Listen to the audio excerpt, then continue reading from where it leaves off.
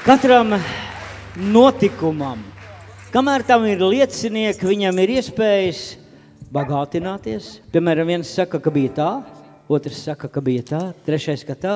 Pēc gadiem, ja vēl kāds atceras tev notikumu, tas var kļūt par pasaku, leģendu, ilūziju.